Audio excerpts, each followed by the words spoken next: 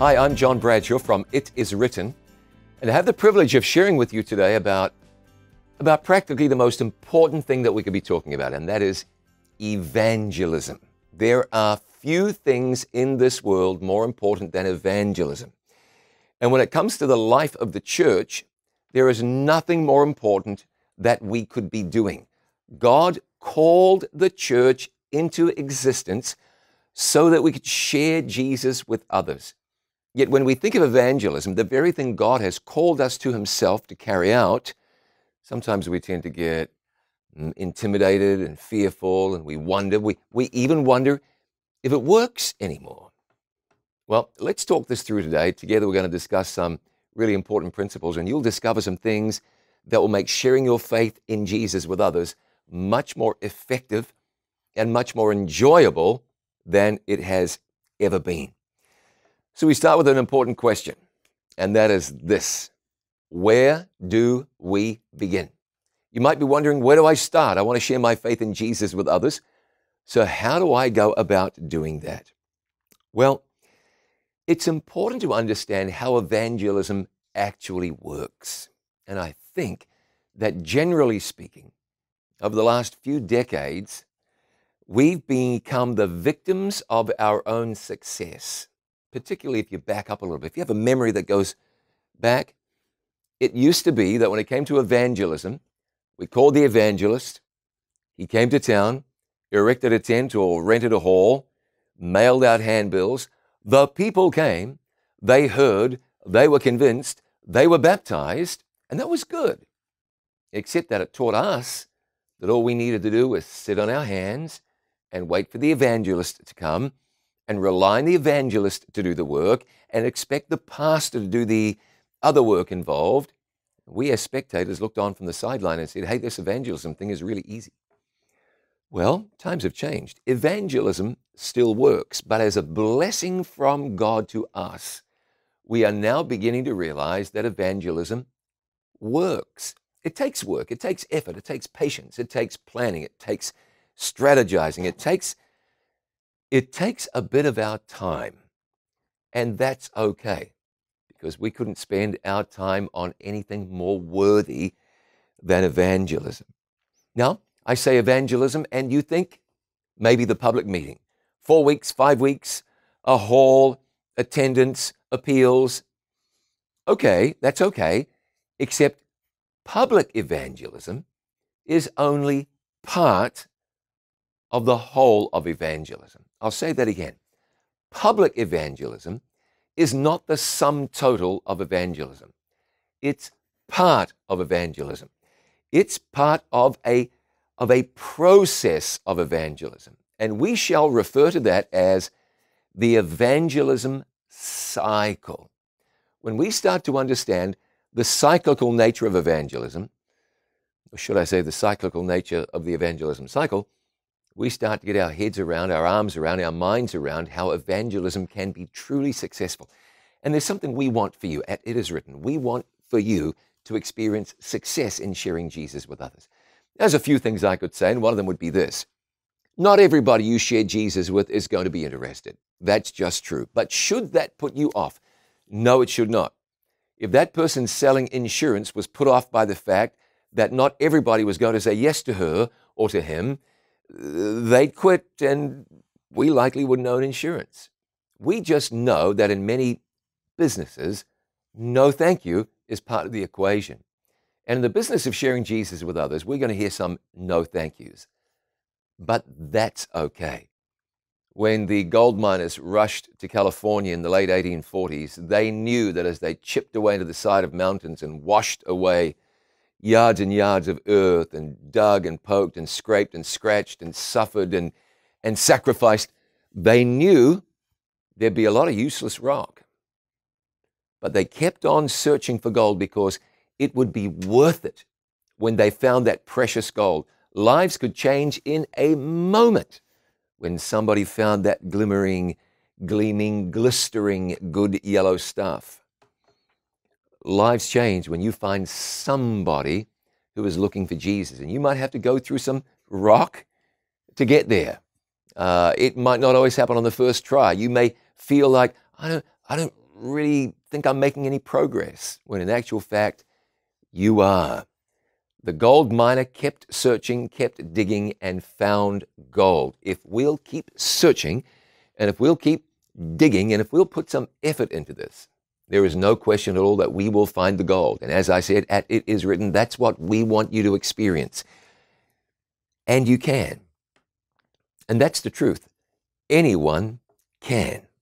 Anyone can share Jesus successfully. Before I go further, let me share a story with you of a young fellow named Hossor. Hossor was a young man that I met in Mongolia during a recent It Is Written mission trip to Mongolia. And the reason I met him was uh, he had come to the church as a result of a previous It Is Written medical missionary uh, expedition to Mongolia. He connected with the church through the medical missionary outreach. He learned of Jesus in this country that's 97.5% not Christian. He learned of Jesus and he'd come to the church, and his family followed him into the church. Now, this young man What's interesting about him is that he was tongue tied. His tongue was connected to the base of his mouth, which meant that some of the things that you and I find very easy to do, he could not do. One of them was he could not talk. He needed surgery, relatively simple surgery actually, to disconnect his tongue from the bottom of his mouth. So one of our oral maxillofacial surgeons performed the surgery and his tongue was freed, and now he's in therapy learning to talk. It's fantastic. So while we're doing this uh, interview with his family, the pastor mentioned to me that, oh, yes, someone is being baptized tomorrow that Hossor brought into the church. And I thought about that. I said, well, that's curious. This brother, 21 years old, cannot speak. How did he bring somebody into the church? He said, Somebody. He said, There are four families, four, four families in the church today because of Hossor's witness, because of the way he shared Jesus with others. I said, How does he do that? He can't speak, he can't say a word. And the pastor said, Well, you know, I don't know, but he's just learned how to share his faith. And he's brought four families to faith in Jesus Christ. So, if a tongue tied young man who cannot speak or could not speak could bring four families to faith in Jesus Christ in a country that is overwhelmingly non Christian, do you think? Do you think the likes of me and you would be able to lead somebody to Jesus? We both know what the answer to that question is. So, with hope in our hearts, with expectation in our hearts, we're going to dive into this thing and look at the evangelism cycle. Jesus believed in it, Jesus understood it. We shall look together at a parable. It's a well known parable. It's found in Luke chapter 8. I shall start reading in verse 4. Hang in there with me because we'll read a fair few verses together. Luke 8, verse 4, the Bible says, And when much people were gathered together and were come to him out of every city, he spake by a parable a sower went out to sow his seed. And as he sowed, some fell by the wayside, and it was trodden down, and the fowls of the air devoured it. And some fell upon a rock, and as soon as it was sprung up, it withered away because it lacked moisture. Luke 8, verse 7. And some fell among thorns, and the thorns sprang up with it and choked it. And other fell on good ground and sprang up and bare fruit an hundredfold. And when he had said these things, he cried, He that hath ears to hear, let him hear. And it's worth me mentioning here not all the seed sprung up and bore fruit. That's just reality.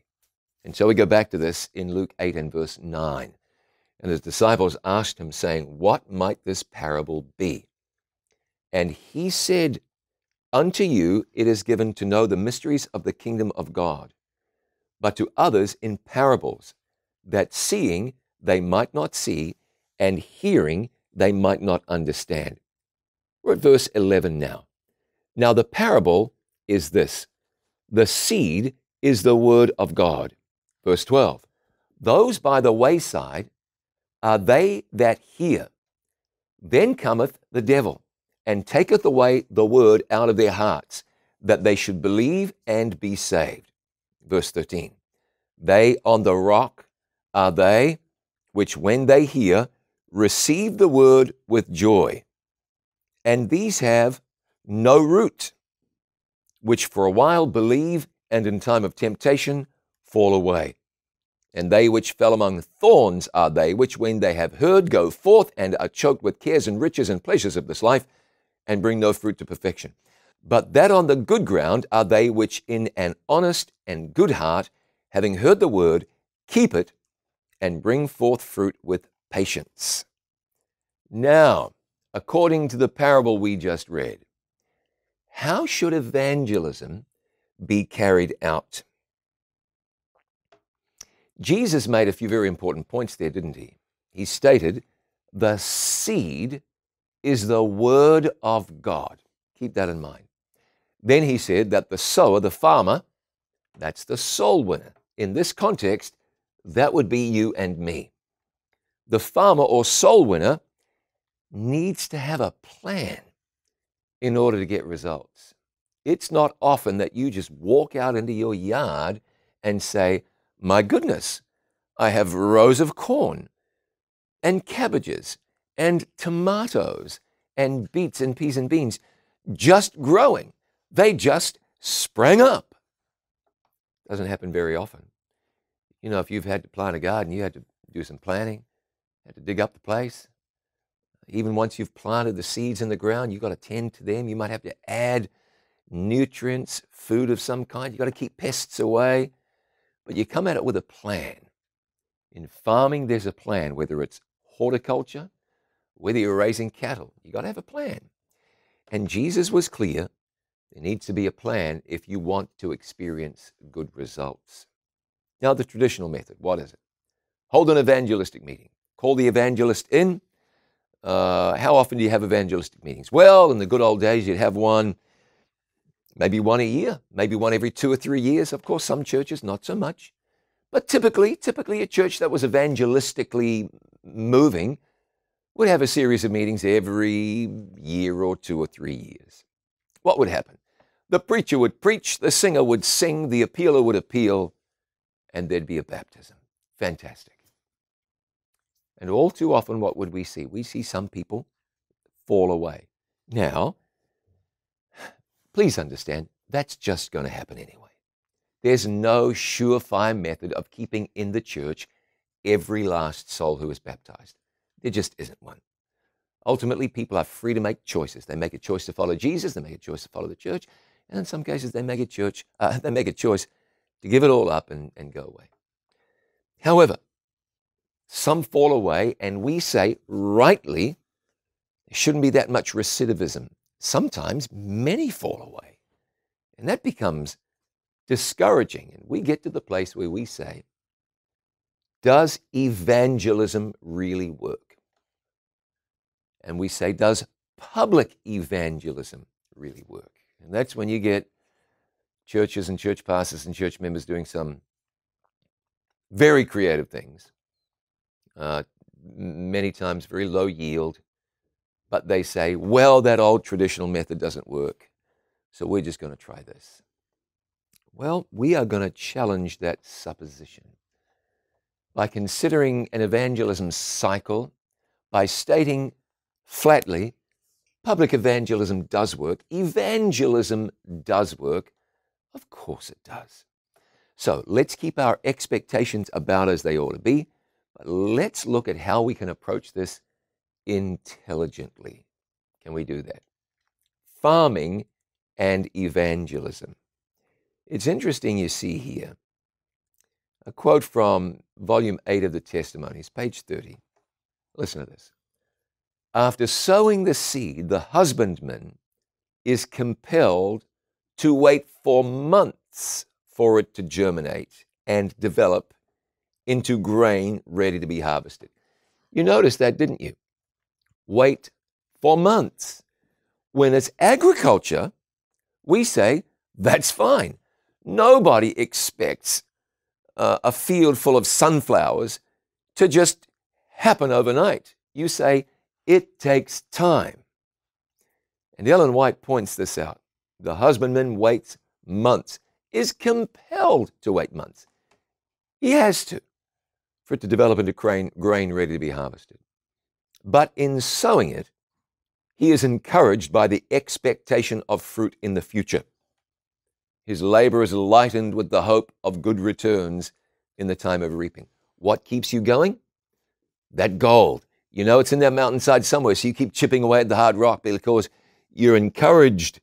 Your labor is lightened with the hope of good returns in the time of reaping. I'm certain you don't reap gold, but I'm using that as an example. It's what keeps you going. You know, in the spring, early spring, you're preparing the soil for your garden if you have a garden. And you know it's going to be months before you see a return. But you do so because you're encouraged by the promise. Acts of the Apostles, page 369. There is nothing more precious in the sight of God than his ministers who go forth into the waste places of the earth to sow the seeds of truth, looking forward to the harvest. And I would add there that she is not merely referring to the ordained ministers of the gospel. When you're, a, you know, when you were baptized, that was like a commissioning service for you. You were brought into the Lord's army to work for Him. Your baptism, when Jesus was baptized, his earthly ministry started. And I think there's something that we've been guilty of, and that's been failing to educate people that at baptism, your ministry starts. You are a minister. Yes, so that's what she said there. None but Christ can measure the solicitude of his servants as they seek for the lost. He imparts a spirit to them, and by their efforts, souls are led to turn from sin to righteousness. Now, you may know the joy of seeing someone that you've worked with, witnessed to, accept Jesus and come to faith in Christ. But if you cannot recall that from experience, I'd like you to think about how joyous it must feel, how great it must feel to know that God used you to show Jesus to somebody, and that person responded by surrendering her or his heart fully to Christ. So let's consider the seven part farming cycle. Good farmer understands this cycle. We've divided up into seven parts. Point number one personal preparation.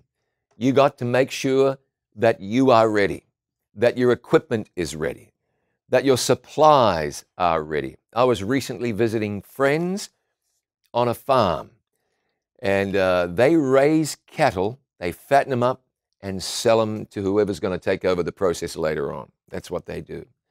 And knowing that later they've got to have something to sell, they begin by planning to go to the sales. So they make a plan. They know that in two months, in one month, next week, there's a sale that's going to take place at a certain stockyard. Then they know what kind of calves they're going to buy. They know what they don't want. They know what kind of feed they need to have on hand for these little things when they bring them home. And so they go to the stockyard to buy calves with a checkbook in their hand and a trailer tied behind the back of the ute or the pickup so they can bring them back to the farm. Personal preparation. We do that. We understand that. Bring this over into evangelism, sharing Jesus. There needs to be personal preparation. Now, secondly, soil preparation. If you're going to plant something, now I know that on a lot of great big farms today, they simply drill seed into the ground and they're not tilling it up. But typically, people like you and me, we're not, we're not drilling our seed into the ground. We are preparing the soil. Then there is seed sowing. The seed must get into the earth before it's going to spring up and produce anything spectacular. Then cultivation. It's in the ground. You know, I grew some great corn once. You know how come it was so good? Because I did some research. I said, what does it take to grow good corn? And what I read said, you need to make an application of nitrogen at a certain time. I thought, I don't remember my dad ever putting nitrogen on the corn. Maybe that explains some things. At the appointed time, I had the nitrogen. I applied that nitrogen, bam! Those corn stalks just took, up, took off upwards. Seemed to work because in cultivation, there are some things to do. You know, take the weeds out. If you don't take the weeds out, well, we found out in the parable a few moments ago, the thorns or even the grassy weeds will grow up and choke the life out of the plant. So once the seed's in the ground, once once somebody is showing an interest in Jesus, the work's not over. The work goes on. Then there is harvest time, or we like that. And then there's harvest preservation. When I was a kid, you know, growing up, my dad grew pumpkins. These things were prolific. You just put the seed in the ground, frankly, and, and, and got out of their way because they grew and they produced wonderfully. And then those pumpkins were going to last us all year, all the way through the winter. My dad had a place in the shed. He'd take the pumpkins, he'd set them up there, they'd sit there. Months later, if we wanted a pumpkin, we'd go out to the shed, we'd get one down, we'd cut that thing open. Mmm, very good. Preserving the harvest is important. You wouldn't take pumpkins and just leave them in the field. You wouldn't have them fend for themselves. You wouldn't stack them up on the back lawn out in the weather. You wouldn't do that. Things would ruin. You know something? It's often how we treat the harvest of the Lord that dictates that much of that harvest will ruin. Thinking about it, going to simply change a whole lot. And then, number seven, Repeat the cycle. Repeat the cycle. You've driven past cornfields or onion fields or soybean fields or milo fields or something like that, year after year after year after year. Those crops just spring up. There may be some rotation, but the farmer plans to do it again and again and again and again, and that's just how you do it. It's the right way to do it. So that's the seven part farming cycle. A good soul winner understands that cycle as well, all seven parts. And you'll notice that evangelistic meetings are part of the cycle. If we can get out of our minds that the evangelistic meeting is the cycle, and we can simply start to plan and to work effectively, utilizing the meeting as part of an overall cycle, we're going to be a whole lot better off and we will see returns increase dramatically. Now, let me say this. I know that there's a good chance that you're going to say, Oh, I'm familiar with this. Uh, we plan, we strategize, we have a cycle. Fantastic. Listen on, and you'll find some things that will enhance what you are doing. If this is new to you, this will revolutionize your outreach. It simply will. So I'd like you to consider this. We'll consider it in some detail, of course. Uh, and this is the evangelism cycle on a chart. Now, as we drill down, here's what we find. Point number one personal preparation. What would that be? Spending time with God. Honest to goodness, I'm convinced, convicted, I believe that we collectively just don't spend enough time on getting ourselves right with God so that God can use us. My friend Pastor Dave woke up at two o'clock in the morning and he felt a strong impression. Pray for this certain individual. It's a great story which led to the individual coming to faith in Christ and becoming part of God's church. But the reason Pastor Dave felt impressed to pray for this man, which happened to be at exactly the same time as the man was having an impressive dream that God gave to him was that Pastor Dave was in tune with God. And so when God said, Dave, I want you to pray, he knew what to do. He got out of his bed and he went and knelt down in the living room so as not to disturb his family. And he prayed his heart out, and the result was truly miraculous and astonishing. Personal preparation, being in a place where God can use you effectively. Spend time with God. I recommend some reading to you. Read the book of Acts. See what God did to grow the, to grow the church, the miracle working power of God. Read the book Acts of the Apostles, the book Evangelism, the book Christian Service. These books will speak to you. They will fire you up. If you haven't read Evangelism or Christian Service, or if you haven't read them in a while, read them. You, you, they'll set you on fire. They're amazing books. And you'll come away with a real enthusiasm for sharing your faith in Jesus Christ. You know, the disciples, they spent time anticipating the Holy Spirit, the early rain. They spent 10 days in the upper room searching their hearts, being sure that they were right with Christ, ready to receive the Holy Spirit. And consequently, when the Spirit fell on them, they were open to receive the Holy Spirit. Now, do not think that, that God gives the Spirit begrudgingly to you. He just wants you to be open. And if you will prepare yourself and put you in the place where God can bless you, you will see God start to do great things. Imagine this. Let's isolate a couple of these points. What if everybody in the church simply said, God, here I am, use me. And that's all they did. If we spent no more time talking about how to effectively do evangelism, but everyone in the church said, I'm willing to be used, so use me. That would revolutionize the church. I mean, without learning a few more things, you might fumble a few times. But just imagine what would your church look like if everyone prayed, Here am I, send me. If everyone said, Today, Lord, before I go outside, I'm asking you to bring someone to me that I can share Jesus with. When did your church last get together and pray that God would grow the church? Doesn't happen very often. I tell you what, I shouldn't, but I will. Great story. A church with four people attending. Uh, it was it was a dying church, literally. A physician and his wife and a couple of others, and they just said, the church is about to close. Yet it doesn't need to. There are people around here we could win. They said, We don't know what to do. So we will pray and ask God to help us. True story.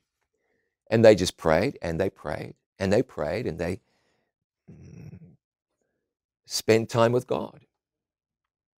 Somebody comes to see the doctor and says, Doc, you're a Christian, aren't you? Yes, I am. Would you tell me what it takes to become a Christian? His wife is in the supermarket and somebody walks up and says, Aren't you a Seventh day Adventist? Yes, I am.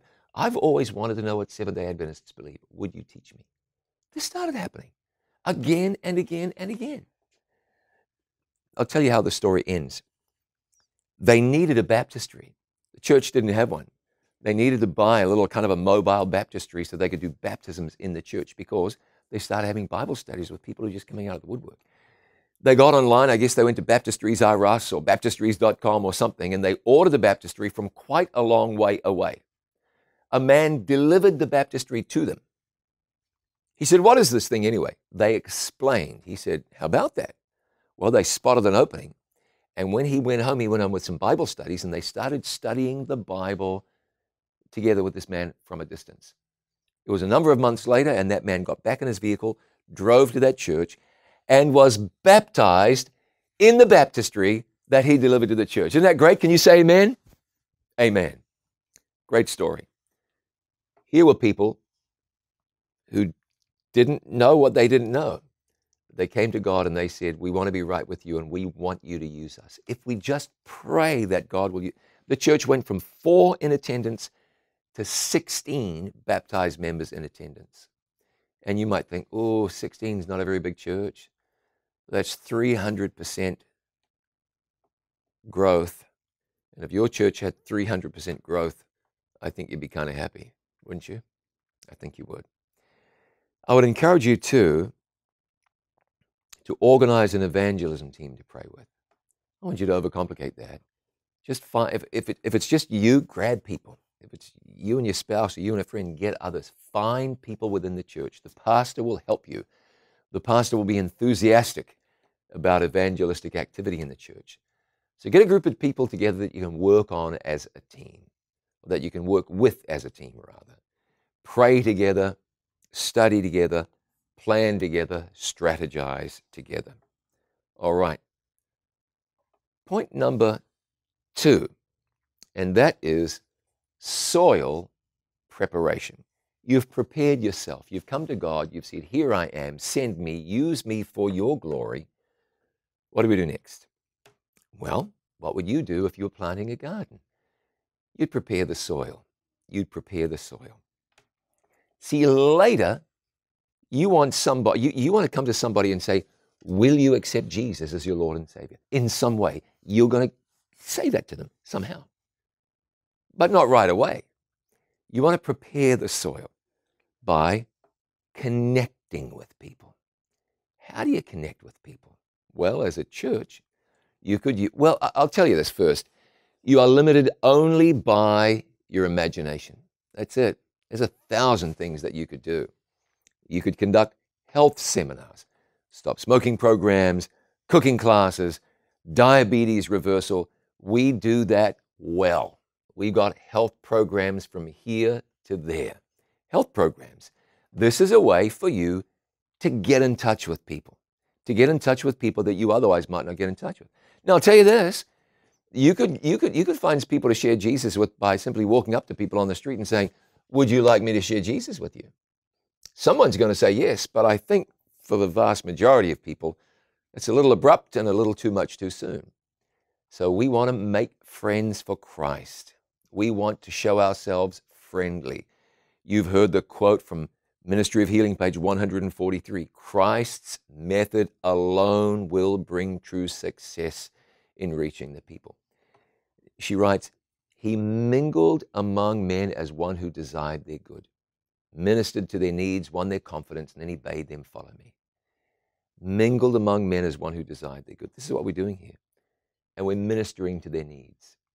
Health seminars, recovery programs. You can do grief recovery, divorce recovery. You can do some kind of addiction recovery programs. And trust me, there are people in your community dealing with grief and divorce and addiction. It's just there. Now, you may need to find an expert to do some of this. You may get a pre recorded video program to do this. You might just do it. Uh, I wouldn't advocate you start to do anything medical that you shouldn't do. Um, I think you would recognize that as well. Share a story with you. I was on the pastoral staff of a church where an older fella uh, suffered a tremendous loss. His wife died. And when we saw him, my goodness, it looked like he was going to die too. He hadn't been in good health. The shock was immense. He was like a dead man walking. And so the church member got around him, but he realized that if he didn't do something, he'd die. So he prayed to God, Lord, give me a ministry. Help me by allowing me to help others. He thought, just a moment. I'm dealing with grief, and there are so many people like me. He began a grief support group. He hadn't had any training in this. He's an educated man, but he wasn't an expert in this. So he got resources and he started to read and study and figure out how this ought to happen. But what he did basically was let people know it was happening, called people together. There were plenty of grieving people in the community. They shared their experience and they supported each other. You know, it wasn't long, and this man came back to life. Back to life. There was another benefit, too, that came from uh, this, this story. He needed help. He needed secretarial help. And he knew there was a woman in the community uh, who had just the skills that he needed. And he said, Would you mind helping me? And so she helped, and they got working together, and they got talking together, and I attended their wedding. They got married together. So out of that service for others came uh, many blessings, great blessings. Do recovery programs, special church events, Christmas, Easter. Invite the community, invite your friends. You know something, my friend? If the church kids are doing special music, you can say to your neighbor, if your neighbor is wired this way, hey, our church kids are doing a special thing at church this weekend. It's going to be great. Why don't you come? Let me ask you this. I'm digressing ever so slightly. Let me ask you this. How many people in your church right now do you think are inviting people to church? Just that. Inviting people to church. My guess is typically not many. If your church bucks that trend, well, hallelujah. We thank God for it. Very recently, an old atheist friend of mine told me that his aunt got on the phone and said, John is preaching in your neighborhood. Would you like to go with me and listen? And he said, I'd love to, except I'm working, so I'm going to plan for next time and try and be there. Isn't that great? An invitation. She invited her atheist nephew. Now, she, she knew that the atheist and I were friends and had been for almost, oh my goodness, for almost 40 years. Almost 40 years. You can't believe that, I know. Uh, so there was that. but use what you've got. Your neighbor knows your grandchild and so says, Hey, oh, my grandchild, Bobby, is going to be doing some music at church. Why don't you come? Oh, I'll show you. Oh, I love Bobby. You know what I'm saying?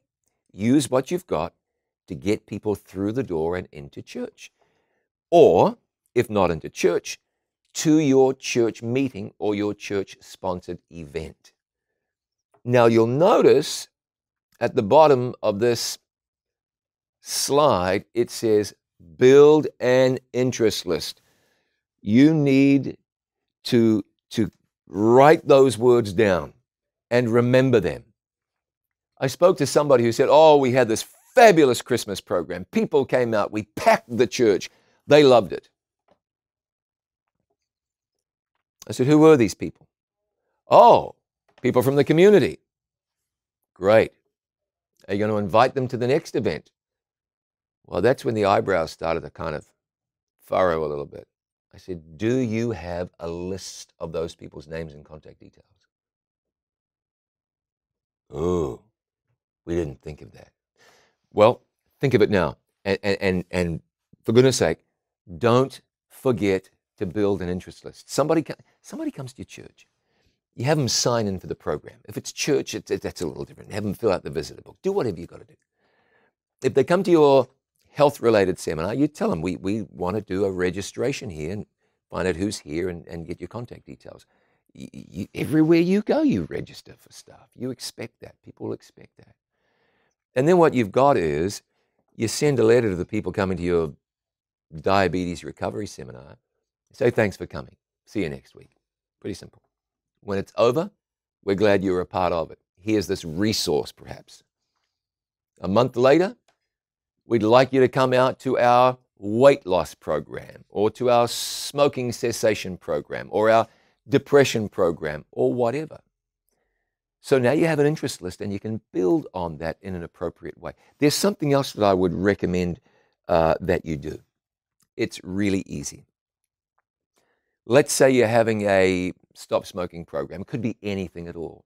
And people have been coming up for five nights or five weeks or whatever it might be. What I'd do is I'd give everybody a piece of paper or a clipboard or something, but uh, their own personal form to fill out. And I'd say, okay, you've got this form. Uh, it's really been great having you at Central Church, First Church, City Church. So glad you've been here. We want you to know that we have a whole heap of services that we offer here at this church. You know we do health, and I want you to notice here, you've come to the X seminar. We also offer W, Y, and Z, or even Z, depending, you know, how you how you do it. If you'd like to come to those, just just put a check mark right next to that. In addition, we do archaeology, we do uh, child rearing, we do whatever it is you do or are planning to do. You can even say, and we have a, a kind of a Boy Scouts program, Boy and Girl Scouts program for kids called Pathfinders. We have one for adventurers. If you'd like to know more about that, let us know. See, by now you've made friends with people. They like you and they trust you. And they're interested in what else you have going on. And you can say, and if you'd like to know more about the Bible, this is a church after all, we major in that, let us know. We have some Bible studies that we, we could offer you with. And you may even say, we've got these wonderful letters written Bible study guides, or we have DVDs, or we have XYZ. Uh, and if you are no pressure about it and you are casual and straight up about it, people are happy to do that. Oh, that was nice of them. They told me what else they have going on here. And no one who comes to a church is going to be shocked or offended by you offering them Bible studies if you do it right. It's a church after all. So build an interest list, very, very important. So that's soil preparation. Now we're looking at seed sowing. Now that you, as a matter of fact, part of what I just described was seed sowing as well. But here's how you can go about seed sowing. At It Is Written, we have something we call the Mega Mailer. It has been phenomenally successful. It's a Bible study interest card. You mail it out to your community, and people who want Bible studies mail it back saying, Yes, please study the Bible with me. How about that? To have somebody send something back to you in the mail that says, Yes, I want you to study the Bible. Now, if you mail those out, you can expect to get ordinarily about one per thousand back. I know you're thinking that's not much, but if you mail 10,000, you've got 10 people saying, I want you to study the Bible with me. That's pretty good. Uh, a good return might be two per thousand. And my friend Pastor Tom in California said that if you get three per thousand, he said, he said this, he said, that's hallelujah. That's how he put it. After we've mailed out a million of these mega mailer cards, we are now averaging 10 per thousand. Uh, in the wine country of Central California, four point something per thousand. That's, that's shocking. Uh, in some places, 30 per thousand. Clearly, in some places, a little less because places are places, places differ. But how about that? If you got 10 per thousand and you mailed out 20,000, that's, that's 200 Bible interests going on the averages now that now your church gets to follow up. That's pretty good, and they're not expensive. So check with us at It Is Written if you'd like to know about that. You could arrange for It Is Written to be aired on your local TV network or radio station. That's easy. If you have a public access channel, they're crying out for content, get It Is Written placed. It's, uh, it's really well worth doing. If you go to a radio station and say, we've got these programs that are just so good, would you, would you check them out and run It Is Written on the radio? Uh, many will say yes. Social media campaign. Have people listen to the every word or watch the every word devotional that I do every day, 60 seconds from the Bible. You can get Bible study signups by social media campaign. And those things are easy. You can distribute tracts such as Glow Tracts or It Is Written DVD sharing cards. You give them, people these little cards, they just scan them or type in the very short URL. They can watch uh, It Is Written broadcasts, which will lead them deeper into a, a stronger desire for spiritual truth. Seed sowing. You and I both know there are lots of ways you could do this. And Soil preparation, I didn't even hardly scratch the surface. You know, there's a lot of things that you could do. Well, then we get to cultivation. You've prepared yourself, you've prepared the soil, you have sown the seed, and now we cultivate. We work with it. We respond to Bible study interests and begin sharing Bible studies. We start to conduct Bible studies, whether in persons in a person's home or Bible studies that you drop off personally. You start to conduct, or maybe you continue to conduct, health programs and recovery programs. You do your bridge building events, concerts, health fairs, archaeology seminars, and that sort of thing. You're cultivating now, and you're starting to funnel people towards the study of the Bible. Now, there'll be some people that you reach out to, and they're all closed off. They don't want to study the Bible. That's fine. Keep working with them anyway. Invite them to church events, maintain a friendship, get them involved, particularly in the more secular aspects of uh, church outreach and church events. And keep graciously and gently offering, knowing that perhaps in the future that no is going to turn into a yes. And then the harvest. Now, we do this well, but without cultivating and seed sowing and soil preparation and personal preparation, the harvest is going to be severely compromised. Evangelist meetings are still effective. You know how I know that? Because I do them and I see results and I hear about others doing them and they're getting results. So if somebody says to you, evangelistic meetings don't work, then you've got something to resolve in your mind because they work for us and many others. But when do they work best? They're not going to work if all you do is the evangelistic meetings, at least not nearly as much as you hope. If you just do the meeting, you'll win some, but not nearly as many as if you really treat this with the respect it deserves. You could hold a two week meeting, a three week meeting, a four week meeting. I would say the longer the better. If you're holding a very short meeting, then my goodness, that's just a reaping series. That's okay if that's what it is, but you've got to have something to reap. If you've put a lot of work in on the front end and you've got people who've been studying the Bible and making decisions, they've started to attend church and now they just need some encouragement to make a full surrender to Jesus, two weeks might be absolutely perfect. Uh, but four week meetings, they're okay. They still work. Now, does everybody have four weeks? No, no, they don't. Uh, some people are very busy. But again, please don't think that you're ever going to find one method that works for everyone. You're just not. The larger the group that you get out, the better decision rate you're going to get.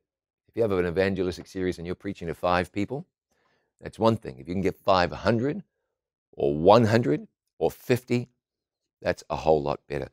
You can have an evangelistic meeting in a public hall. Um, you can have it at the church, of course. You can have it at home. Wherever you have the meeting, please keep in mind the dynamics associated with that location. If it's a hall, make it a good hall, a hall that people actually want to go to. Make sure people can find it. Make sure there's adequate parking. If it's the church, same. Make sure people can find it. Make sure there's good parking. Make sure your church looks like the kind of building people want to come into. Cut the grass. Paint the doorway with all of its flaky paint on there. If you need some more uh, carpet in the hallway, get it. If you can't afford it, put down a rug. Do something. Uh, so keep in mind the dynamics, but you can hold that meeting in a variety of places. And then there's a harvest. You, you, you call for decisions. You get decisions. There are people who are baptized. And let's say there's a group this big who come into your church. Where does the emphasis now have to be? It has to be on keeping these people, keeping them. Too often we lose people because folks join the church and we just don't have anything to do with them. We forget all about them. We put no effort into actually keeping them. And that's a great pity. You spend a lot of money on an evangelistic series and often little or nothing on keeping people in the church. And that's that's too bad. You forget people who come into the church, they are going to get the message from you. I have been forgotten. So before long, most people who are forgotten by the church will forget about the church. You know, someone who's baptized is a baby, a baby Christian. And would you consider with me, please, that babies take some work? They've got to be cleaned and fed and assisted with things that you and I would think are pretty basic. They, uh, they can't always fend for themselves, they don't always recognize danger. Babies. But what do we do with babies? We love them we nurture them, we support them, we provide a good environment for them, and we help them to grow. Keep in mind that environment. When you have new folks coming to the church, you, you, you want to shut the back door of the church just as firmly as you can. Can it be done? Oh, yes, it can. We were in uh, Gweru, Zimbabwe, not that long ago, 650 people baptized. Six weeks later, they had a meeting for those people, and 647 of them showed up. Might have been that the other three were out of town. 647 out of 650, that's pretty good. You are going to say, oh, but that's Zimbabwe, that's not here. That's true. I'll tell you how that's Zimbabwe, it really is. The gentleman who was coordinating the site where I was preaching told me that uh, the meeting attendance will increase as the nights went by. I said, How can you be so sure? He said, Because we have people going out into the community simply doing nothing but inviting people to come. I said, Well, how many people do you have going out? He said, 30. We said, We have 32. And in my heart, I said, Praise the Lord, they have 32 people going out. And he, then he carried on and said, Teams of three. 96 people going out into the community doing nothing but inviting people to the meetings. If you had 96 people in your city or town inviting people to come out to meetings, do you think it would make a difference? It made a difference where we were. It would make a difference where you are as well. Anyhow, we need to shut the back door. You know, when you bring a baby into the home, you got to be quiet around that baby at the right times. You want to treat that baby with kindness even when they mess up. You don't want to yell at a child. You'll scar a child if you yell at that child and lose your temper. You don't want to be violent with that child. Of course, that's entirely inappropriate. Babies in Christ need nurturing. We've got to help them understand what it means to be a church member. Help them understand what it means to be a disciple. I would use those terms interchangeably. Understand what it means to be a follower of Jesus. Help that new person know what it means to keep the Sabbath. Show them Help them make friends with people inside the church by letting them make a friend of you. And you know something? you can cross the generations for this. My friend turned up to an evangelistic meeting once. They said, How did you find out about it? He said, The billboard. They said, But there's no billboard. So that's interesting. And after he was baptized, an elderly couple invited him home. This young man in his early 20s with his long hair, a, hippie of kinds he had been, every week they invited him home. Every week. He loved them and they loved him. And it was that relationship that really anchored him in faith in Christ. So we want to preserve the church members. There's a lot more that we could say, and perhaps later we will, but this isn't the forum for that. But you got to work at preserving the harvest, integrating people into the life of the church, helping them to make friends, helping them to find a purpose, getting them involved in ministry. That's really important. So we'll learn to shut the back door. And then, point number seven, repeat the cycle. Do it again. You know something? I conducted a series of meetings in a place. We had a great result, really God blessed, because of the wonderful work that the church members had done as the Bible worker helped them to get involved in outreach. And he really led the charge. Well, when my series was over, I was leaving the town. It was told to me that the Bible worker would conduct the next series of meetings. So, what he did was this most of the people baptized went into a Sabbath school class that he taught. So for 10 weeks, he taught them principles of spiritual growth. After that, he just segued right into a discipleship training class. They didn't know it was different. They thought that's what everyone at that church did. He was teaching them how to share their faith. He used them as the Bible workers for the next series of meetings. And this rookie evangelist, a Bible worker who'd never conducted a series of meetings in his life, had a profoundly successful series of meetings because he knew that the key to success in evangelism wasn't just the meeting, as important as that is, but the work that takes place in the build up. Those newly baptized people have a circle of influence, family and friends that they can share their faith with. And if you teach them to model their faith correctly, their family and friends are looking at them and they're saying, wow, this Christianity thing has really helped you. And they're starting to think that they might need that Christianity thing as well. A farmer does not stop after a good cycle. You do it again. And the more you do it, the better you get at it. A good farmer is someone who has learned from failures, who has honed her or his skills, who has found principles that work and kept on using those principles, who wasn't repelled by the effort that farming takes. If you'll uh, approach sharing your faith in Jesus along those same lines, you are going to see God do really, really great things. Now, I want to take a moment and talk to you about preparing yourself for evangelism. We spoke about that earlier, but it's really important to have a heart prepared for ministry. Now, listen to this. David said, Purge me with hyssop, and I shall be clean. Wash me, and I shall be whiter than snow. Create in me a clean heart, O God, and renew a right or a steadfast spirit within me. That's Psalm 51. And you notice something when it comes to preparing yourself for evangelism. David understood this principle well. He knew that only God could create in him a clean heart. He recognized his corruption and his need, but he knew that God could do something about it. Later in Psalm 51, verses 11 and 12, Cast me not away from thy presence, and take not thy Holy Spirit from me. Restore unto me the joy of thy salvation, and uphold me with your free or your generous spirit. Uh, Lord, make me what I cannot make myself, and then keep me. Uh, uphold me through your spirit so freely given. This psalm is a psalm of repentance, isn't it? Psalm 51. But look where it goes. Where does David? David has created me a clean heart. Purge me with hyssop. Forgive me. Cleanse me. Why? Verse 13. Then I will teach transgressors your ways, and a multitude of sinners or sinners shall be converted to you. David wanted a new heart for himself so that he could lead others into a new heart experience with God. Uh, repentance for David reconversion for David wasn't just a selfish matter. He knew if I get right with God, God can use me to lead others to himself.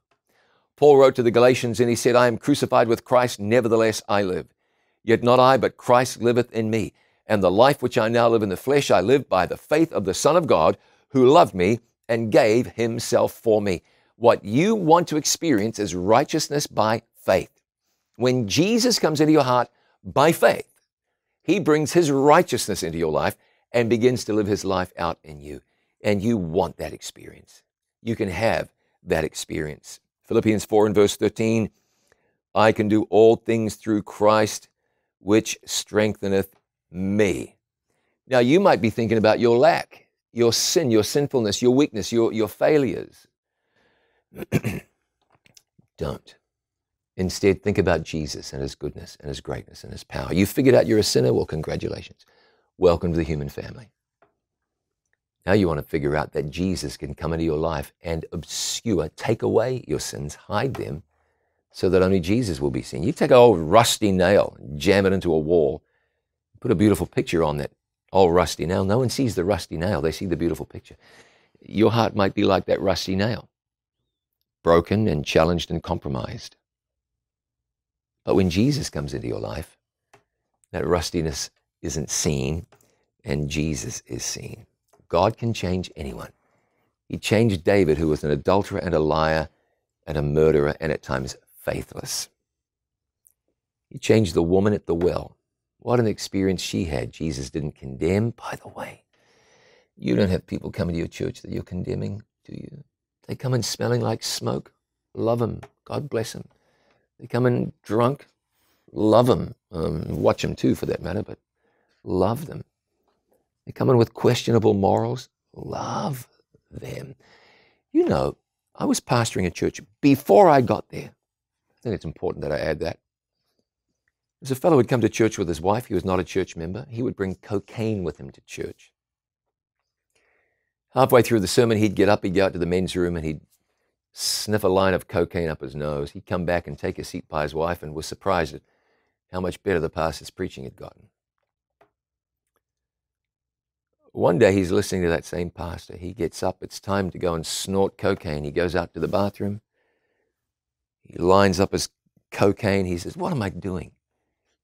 He sweeps it into the sink, empties the bag into the sink, runs water and runs it down the drain, throws the bag in the trash. Never did it again. Somebody in the church, if they knew he had a drug problem, might have railed against him and said, We've got to get that guy out of here. Uh, you understand what I mean. I'm not saying let everything go. I don't want to get into that. What I'm saying is God can change anyone. And if you don't have anyone at your church smelling of smoke, it's probably because your church isn't doing its job. If you're reaching out to the lost, you ought to get somebody bringing their baggage to church.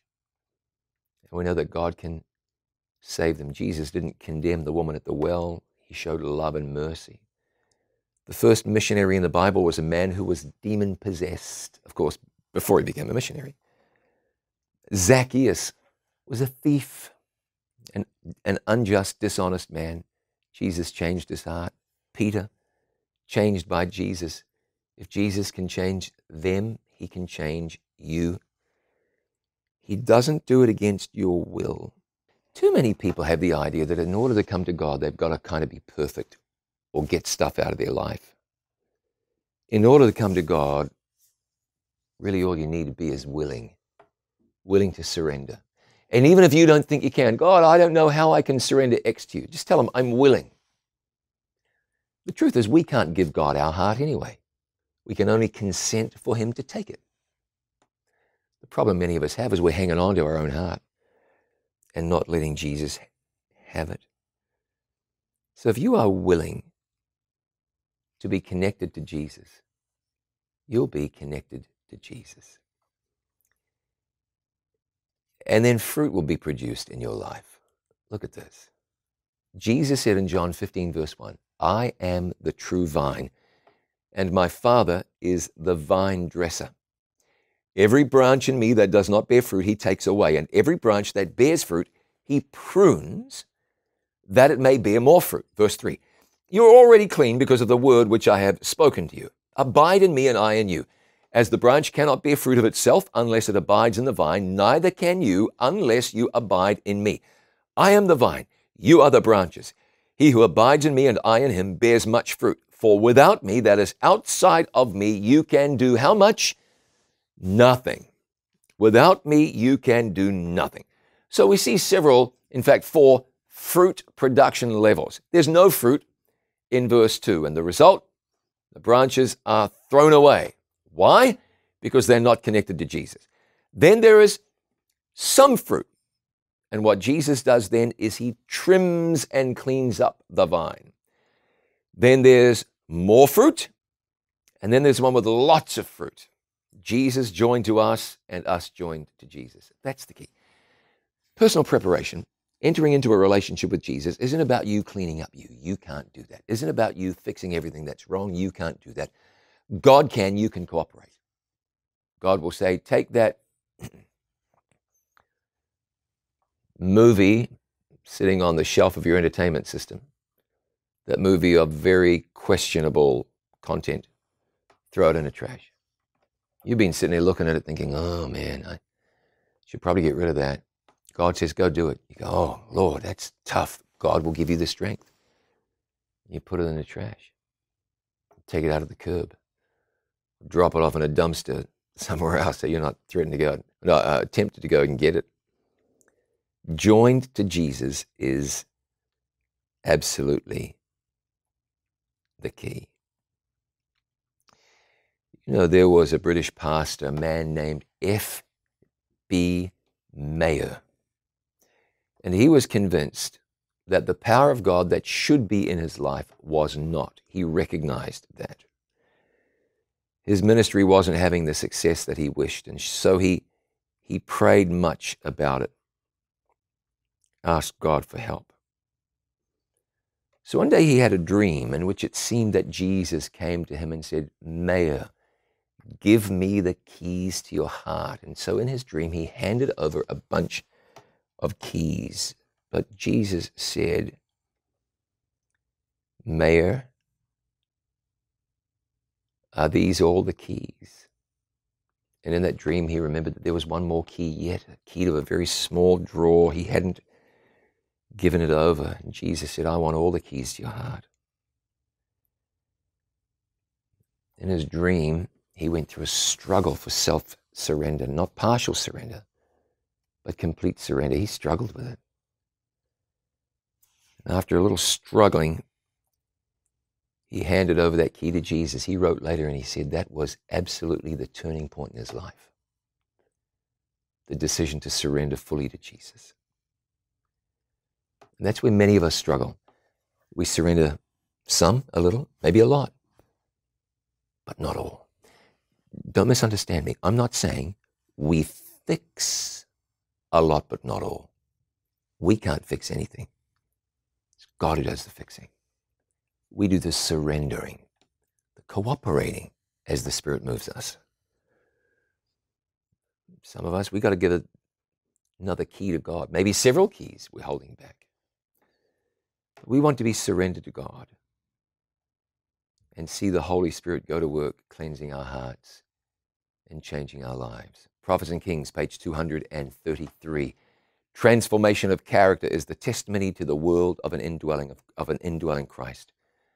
The Spirit of God produces a new life in the soul, bringing the thoughts and desires into obedience to the will of Christ.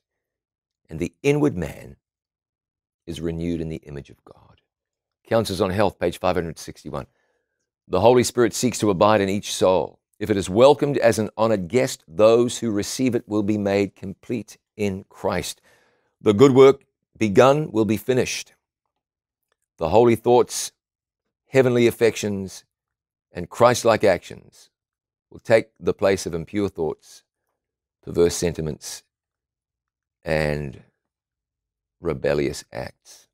Paul wrote to the Philippians he said, He who has begun a good work in you is faithful to perform it until the day of Christ. He wrote again to the Philippians in the next chapter, chapter 2, and he said, It is God which worketh in you both to will and to do for his good pleasure. So if you'll let God do the work he wants to do, God will do the work he wants to do. It'll be powerful. You'll never be the same. And God will be able to use you in an amazing way young man came to the foreman of a logging crew. He said, I'd like a job. The foreman said, Can you cut down a tree? Yes, I can. He said, Go ahead, let me cut you, let me let me see you cut down that tree. And so the young man did with his axe. Cut down a tree, did it very well. The foreman said, You are hired. And he and he and he started on with that crew, I, I believe it was that very day. Uh, so he worked Monday and Tuesday and Wednesday and and then Thursday, the foreman approached the young man and he said, you can, you can pick up your check on the way out. He said, Wait, I thought payday was Friday, tomorrow, Friday. And he said, Yes, normally, but I'm letting you go because you're falling behind. He had been first place cutting down trees Monday, last place Thursday. That foreman wasn't a dummy. He recognized the young man was wilting no point in having him on. The young man said, But wait, I work hard. I'm the first to get here in the morning. I'm the last to leave in the evening. I've even been working through my breaks. The foreman thought about it. He said, There's a problem here. This young man really does work hard. He does have integrity, but he's falling behind. He said to him, Have you been sharpening your axe? The young man said, Sharpen my axe? Who has time for that? I've been too busy.